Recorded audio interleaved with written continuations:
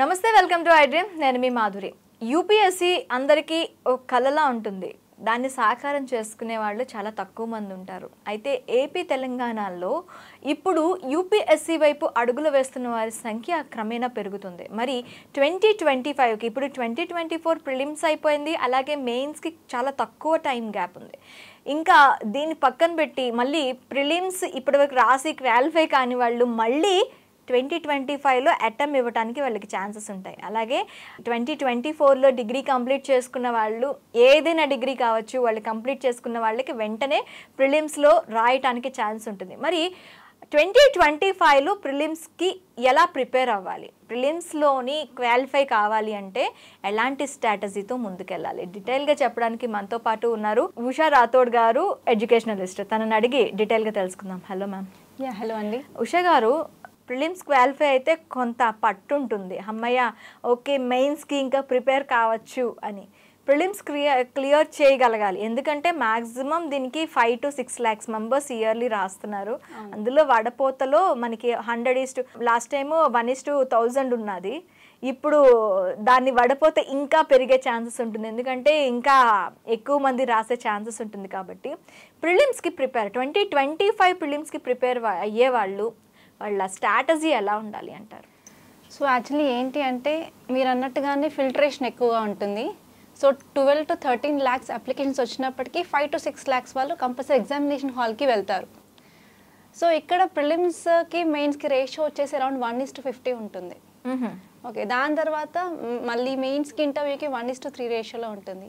So maximum filtration అనేది first స్టేజ్లో అవుతుంది కాబట్టి ఇది చాలా పెద్ద బ్యారియర్ అని చెప్పొచ్చు. దీన్ని క్రాస్ చేసరికి ఏంటంటే కాంపిటీషన్ తగ్గుతుంది కాబట్టి క్లియర్ చేసే ఛాన్సెస్ ఎక్కువగా ఉంటాయి.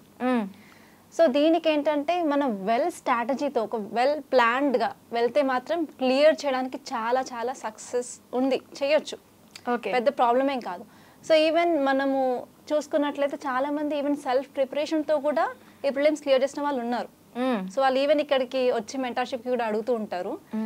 సో ఏంటి అంటే ఇది క్లియర్ చేయాలంటే పక్కగా ఒక ప్లాన్డ్ స్ట్రాటజీ అనేది ఉండాలి. So at least one year coaching తీసుకున్న తర్వాత ఒక వన్ ఇయర్ మన సెల్ఫ్ స్టడీ మీద ప్రిపేర్ చేసి మనం ఎగ్జామ్ రాసినట్లయితే క్లియర్ చేసే ఛాన్సెస్ చాలా ఎక్కువగా ఉంటాయి. అంటే సెల్ఫ్గా ప్రిపేర్ అయ్యే వాళ్ళు ఒక టూ ఇయర్స్ దీనికి టైం ఇవ్వాలి ఇవ్వచ్చు. ఓకే. అంటే డిగ్రీ అయిన వాళ్ళు వెంటనే రాయడానికి చూస్తారు కదా? డిగ్రీ వాళ్ళు వెంటనే చూస్తారు. వాళ్ళకి ఏంటి అంటే ఎవరైనా సరే గైడెన్స్ వాళ్ళ పేరెంట్స్ నుంచి అయినా సరే వాళ్ళ టీచర్స్ నుంచి అయినా సరే లేకపోతే వాళ్ళ కాలేజ్ నుంచి పాస్డ్ అవుట్ అయ్యి ఎవరైతే ప్రిపేర్ అవుతారో సో వాళ్ళ దగ్గర కొంచెం గైడెన్స్ వాళ్ళకి దొరికినట్లయితే సో ముందు నుంచి వాళ్ళు కొంచెం ప్రిపేర్ అవుతున్నా కూడా వాళ్ళు వెంటనే డిగ్రీ అయిన వెంటనే ఇచ్చే ఛాన్సెస్ ఉంటాయి సో. కొంతమందికి ఏంటంటే ఓకే చాలా పోస్టులు ఉన్నాయి కదా కొంచెం క్రేజ్ అనేది ఎక్కువైపోయింది ఈ మధ్య ఐఏఎస్ అంటే ఐఏఎస్ ఐపీఎస్ అంటే సో అలా కూడా ఎందుకు రాయకూడదు అని చెప్పి కూడా రాస్తున్నారు చాలా మంది వితౌట్ ప్రిపరేషన్ అసలు ఎలా ఎగ్జామ్ ఉంటుందని. ఎగ్జామ్ ప్యాటర్న్ అనేది తెలుసుకోకుండా కూడా రాస్తున్నారు. అలా రాయడం వల్ల ఏంటంటే అనవసరంగా అటెంప్ట్స్ అనేది వేస్ట్ అయిపోతాయి. ఓకే అటెంప్ట్స్ కూడా మనకి ఇంపార్టెంట్ అంటే ఉంటుంది కదా? ఎన్ని అటెంప్ట్స్ ఉంటాయండి మనకి ప్రిలిమ్స్కి ఓకే నార్మల్గా జనరల్ కేటగిరీ వాళ్ళకి సిక్స్ అటెంప్ట్స్ ఉంటాయి. ఓకే. అండ్ మిగతా వాళ్ళకి ఏంటంటే ఎస్సీ ఎస్టీ వాళ్ళకి అటెంప్ట్స్ అనేది కౌంట్ అవ్వదు. కాకపోతే ఏజ్ ఉంటుంది.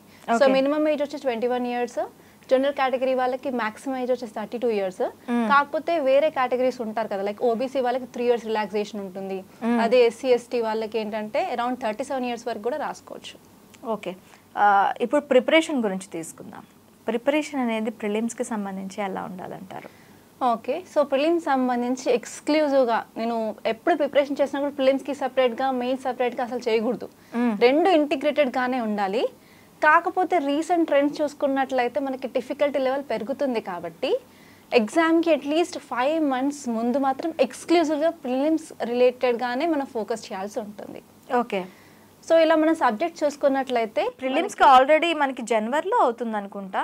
నోటిఫికేషన్ జనవరిలో ఫిబ్రవరిలో వస్తుంది. ఫిబ్రవరిలో next twenty twenty five exam వచ్చేసి ట్వంటీ ఫిఫ్త్ మే ఉంది. ట్వంటీ ఫిఫ్త్ మే డేట్ కూడా వచ్చేసిందా? డేట్ కూడా ముందే వస్తుంది. అంటే మాక్సిమం మనకి టెన్ మంత్స్ టైం ఉంది అనుకోవచ్చా ఉంది. ఓకే టెన్ మంత్స్ టైం అంటే మనం ఇప్పుడు మెయిన్స్కి దీనికి ఒక ఫైవ్ మంత్స్ ఇచ్చేసిన ఓన్లీ? ప్రిలిమ్స్ ఫైవ్ మంత్స్ చూసుకోవాలి. ఓకే సో ఇప్పుడు ప్రిలిమ్స్కి ఎలా ఫోకస్ చేయాలి అంటే సో మనం ప్రిపరేషన్ స్టార్ట్ చేసినప్పుడు మనకు కొన్ని కామన్గా ఉంటాయి. మెయిన్స్లో ఉండే సబ్జెక్ట్స్ ప్రిలిమ్స్లో ఉండే సబ్జెక్ట్స్ సో వాటిపైన మనం గ్రిప్ తెచ్చేసుకొని ఒక త్రీ టు ఫోర్ మంత్స్ దాని మీద ఫోకస్ చేయాలి. దాని తర్వాత ఏంటంటే ఎక్స్క్లూజివ్గా మెయిన్స్కున్న టాపిక్స్ ఉంటాయి.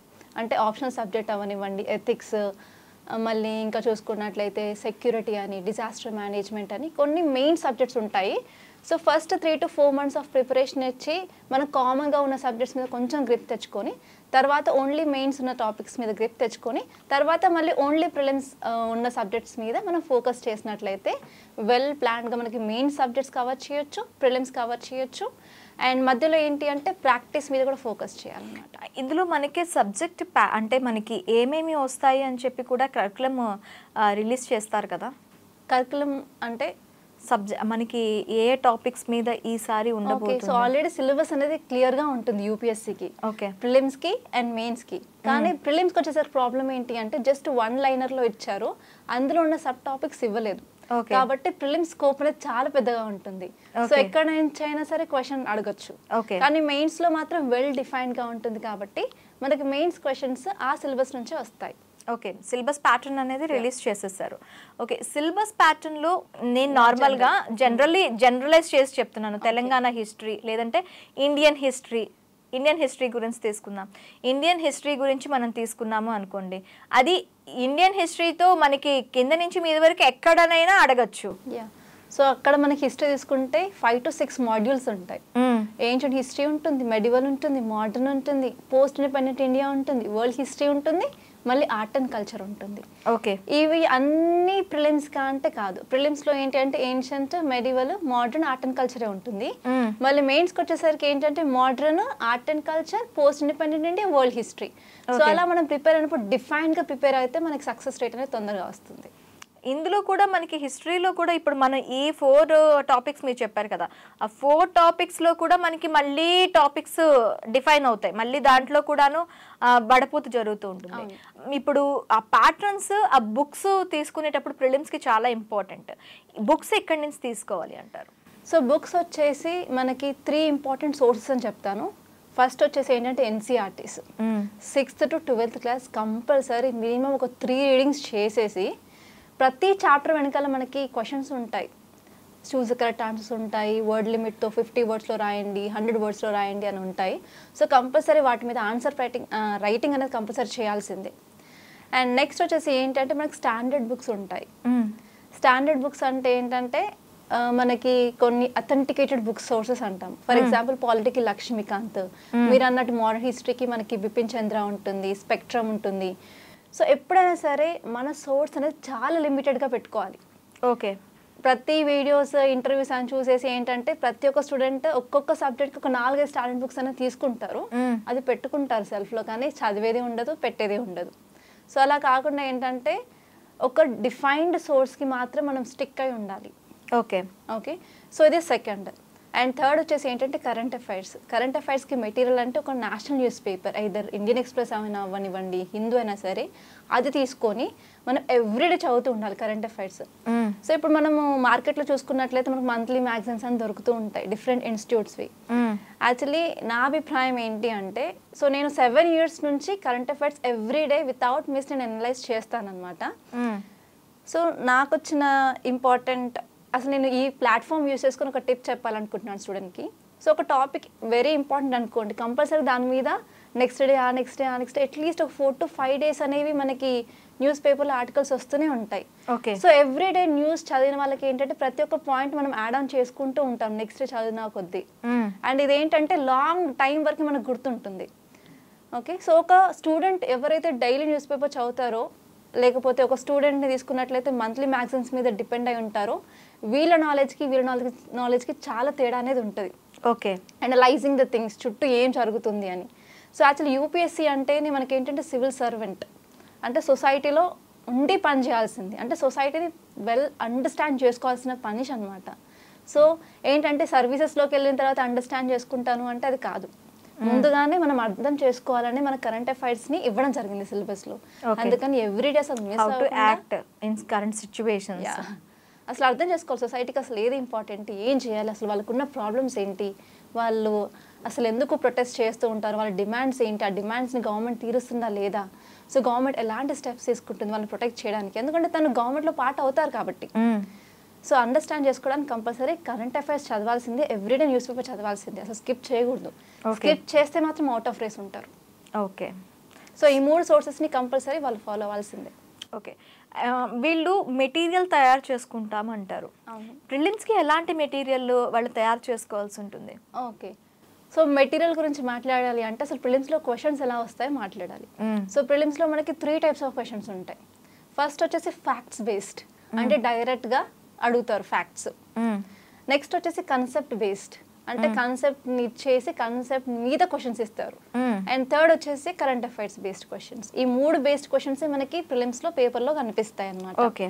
సో ఫ్యాక్ట్స్ బేస్డ్ వచ్చేసరికి ఏంటంటే డైరెక్ట్గా నువ్వు బుక్లో చదివింది ఇక్కడ ఉంటుంది. ఓకే. అంటే నువ్వు బుక్ నాలెడ్జ్ ఉంటే కంపల్సరీ అది చేయొచ్చు. ఓకే. అది ఎన్ని. మార్క్స్కి ఉండొచ్చు మనకి? మనకి వేరియేషన్ ఉంటుంది. ఎవ్రీ ఇయర్ ఇంత వస్తుందని చెప్పలేము. ఓకే. ఇట్ ఈస్ అది హైలీ కూడా అది కూడా మన హ్యాండ్లో ఉండదు. ఓకే. ఖచ్చితంగా ప్రిపేర్ అవ్వాలి. ఓకే. ఇది. ఒక్కటే ప్రిపేర్ అవుతానని లేదు. Okay. So facts based questions వస్తే మాత్రం మీరు చదివిన బుక్స్ స్టాండర్డ్ బుక్స్ అయినా సరే లేకపోతే ఎన్సీఆర్టీస్లో అయినా సరే డైరెక్ట్గా క్వశ్చన్స్ వస్తాయి కాబట్టి మీకు వస్తే వస్తుంది అది.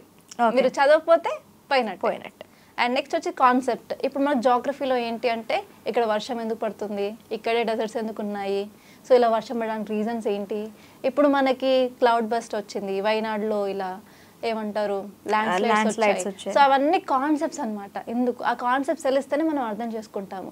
సో ఆ కాన్సెప్ట్ నేర్చుకోవాలి అంటే కంపల్సరీ ఒక క్లాస్ వినడం కానీ ఒక మంచి గైడ్ దగ్గర ఉంటే మనకు వచ్చేస్తాయి అన్నమాట. ఓకే సో కాన్సెప్ట్ నువ్వు ఆ క్వశ్చన్కి ఆన్సర్ చేయాలి అంటే కాన్సెప్ట్ తెలిసి ఉండాలి. సో జస్ట్ బై హార్ట్ చేసి రాస్తాను అంటే కాదు. ఇక్కడ మనకి ప్రిలిమ్స్లో కంప్లీట్గా ఈ ఆబ్జెక్టివ్ క్వశ్చన్స్ అంటే క్వశ్చన్స్లోనే మనకి అప్లికేషన్ బేస్డ్ ఇలా కాన్సెప్ట్ బేస్డ్ క్వశ్చన్స్ ఉంటాయి అన్నమాట అంటే దాంట్లో కూడా కంప్లీట్గా మనకి ఒక కాన్సెప్ట్ ఇచ్చి వాట్ యువర్ ఒపీనియన్ అని అడుగుతారా. లేకపోతే. ఫర్ ఎగ్జాంపుల్ ఇప్పుడు సైక్లోన్స్ ఫామ్ అవుతున్నాయి రీసెంట్గా సైక్లోన్ అస్నా అనేది న్యూస్లో ఉంది hmm. Cyclone Asna cyclone form అవడానికి గల కారణాలు ఏంటి. So consider the following statements regarding cyclone formation అని అడిగి కింద దాని గురించి కొన్ని స్టేట్మెంట్స్ ఇచ్చి ఇచ్చి which of the above are correct which of the above are incorrect అంటే కంపల్సరీ కాన్సెప్ట్ మనకు తెలిస్తేనే మనం ఆ క్వశ్చన్ని పెట్టడానికి ఉంటుంది. నెక్స్ట్ ఇంకొకటి? ఫర్ ఎగ్జాంపుల్ ఇప్పుడు మనకి అరేబియన్ సీ ఉంది బే ఆఫ్ బెంగాల్ ఉంది. సో నార్మల్గా ఏంటంటే బే ఆఫ్ బెంగాల్ ఎక్కువ సైక్లోన్స్ ఫామ్ అవుతాయి. మ్మ్. కానీ ఇప్పుడు రీసెంట్గా క్లైమేట్ చేంజ్ వల్ల అండ్ కొన్ని ఇతర జియోగ్రఫికల్ రీజన్స్ వల్ల అరేబియన్ సీలో సైక్లోన్స్ పెరుగుతున్నాయి.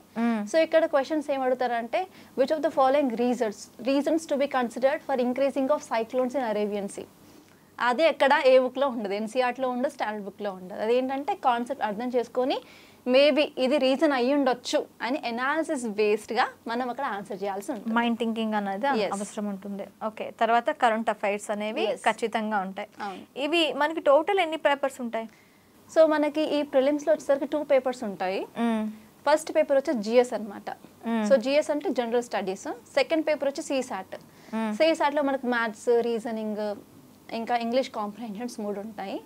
అండ్ రెండు వచ్చేసి టూ హండ్రెడ్ మార్క్స్ ఓకే కానీ ఫస్ట్ పేపర్లో హండ్రెడ్ క్వశ్చన్స్ ఉంటాయి సెకండ్ పేపర్లో ఎయిటీ క్వశ్చన్స్ మాత్రమే ఉంటాయి. ఓకే ఓకే ఇక్కడ మార్నింగ్ జిఎస్ పేపర్లో వన్ క్వశ్చన్కి వచ్చేసి టూ మార్క్స్ ఆఫ్టర్నూన్ పేపర్లో వన్ క్వశ్చన్ వచ్చేసి two point five marks cut off కూడా ఉంటుంది. మైనస్ మార్క్స్ కూడా మైనస్. మార్క్స్ ఉంటాయి. అలాగే ఫస్ట్ ఈ సెకండ్ పేపర్ ఏదో సీసాట్ ఉందో అది క్వాలిఫై అయితేనే మీ జిఎస్ పేపర్ని అకౌంట్లోకి తీసుకొని దాన్ని కరెక్షన్ చేయడం జరుగుతుంది. లేకపోతే general studies paper waste waste మీరు around one hundred one twenty ఇక్కడ వచ్చేసి అక్కడ మీకు థర్టీ త్రీ పర్సెంట్ రాలేదు thirty three point three percent రాలేదు అంటే నువ్వు ఇక్కడ చేసినదంతా మళ్ళీ వేస్ట్ మళ్ళీ వన్ ఇయర్ కూర్చోవాలి మళ్ళీ స్టార్టింగ్ నుంచి ప్రిపేర్ అవ్వాల్సి ఉంటుంది. ఖచ్చితంగా దీని మీద కాన్సెప్ట్ బేస్ అండ్. దీని మీద ఖచ్చితంగా మనం నాలెడ్జ్ పెంచుకోవాల్సి. ఉంటుంది. ఓకే ఉషా గారు thank you thank you very much.